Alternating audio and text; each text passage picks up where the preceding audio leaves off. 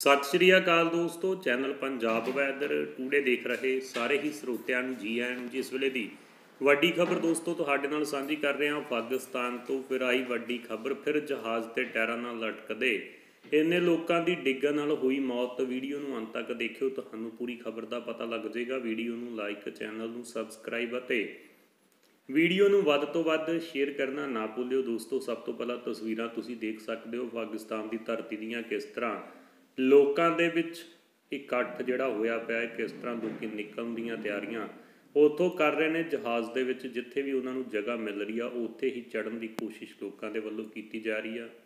ਇਹ ਤਸਵੀਰਾਂ ਸਾਫ਼ ਦਿਖਾਈ ਦੇ ਰਹੀਆਂ ਨੇ, ਸੋ ਹੁਣ ਕਾਬੁਲ 에ਅਰਪੋਰਟ ਦੇ ਵਿੱਚੋਂ ਇੱਕ ਵੱਡੇ ਹਾਦਸੇ ਦੀ ਸੋਸ਼ਲ ਮੀਡੀਆ ਤੇ ਖਬਰ ਵਾਇਰਲ ਹੋ ਰਹੀ ਆ। ਤਾਲਿਬਾਨ ਦੇ ਆਉਂਦੇ ਹੀ ਅਫਗਾਨਿਸਤਾਨ ਦੇ ਲੋਕਾਂ ਵਿੱਚ ਹੜਕੰਪ ਮਚ ਗਿਆ। ਉੱਥੇ ਦੇ ਲੋਕ ਬੇਚੈਨੀ ਨਾਲ ਦੂਜੇ ਦੇਸ਼ ਜਾਣ ਦੀ ਭਰਪੂਰ ਕੋਸ਼ਿਸ਼ ਕਰ ਰਹੇ ਹਨ। ਇਸ ਕ੍ਰਮ ਵਿੱਚ ਹੀ ਸ਼ਨੀਵਾਰ ਨੂੰ ਇੱਕ ਦਿਲ ਕੰਬਾਊ ਘਟਨਾ ਸਾਹਮਣੇ ਆਈ। ਅਮਰੀਕਾ ਜਾ ਰਹੇ ਜਹਾਜ਼ ਦੇ ਅੰਦਰ ਸੀਟ ਨਾ ਮਿਲਣ ਦੇ ਕਾਰਨ ਉਸ ਦੇ ਪਹੀਆਂ ਨਾਲ ਲੋਕ ਲਟਕ ਗਏ। ਕੁਝ ਦਿਨ ਬਾਅਦ ਡਿੱਗਣ ਦੇ ਨਾਲ ਇਹਨਾਂ ਦੀ ਮੌਤ ਹੋ ਗਈ।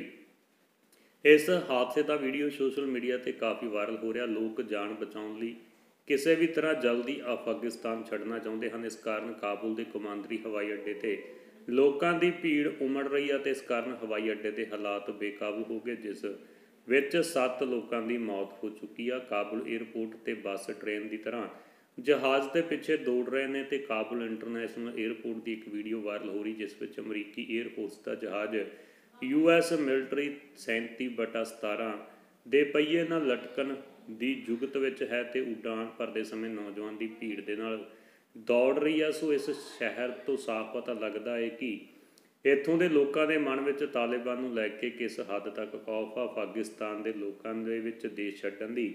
ਅਜਿਹੀ ਹੜਬੜੀ ਆ ਕਿ ਉਹ ਜਾਣ ਦੀ ਪਰਵਾਹ ਕੀਤੇ ਬਿਨਾਂ ਜਹਾਜ਼ ਦੇ ਡੰਨੇ ਤੱਕ ਬੈਠ ਕੇ ਰਵਾਨਾ ਹੋਏ, ਪਰ ਉਡਾਨ ਭਰਨ ਦੇ ਕੁਝ ਦੇਰ ਬਾਅਦ ਹੀ ਡਿੱਗਣ ਨਾਲ ਇਹਨਾਂ ਦੀ ਮੌਤ ਹੋ ਗਈ। ਧੰਨਵਾਦ।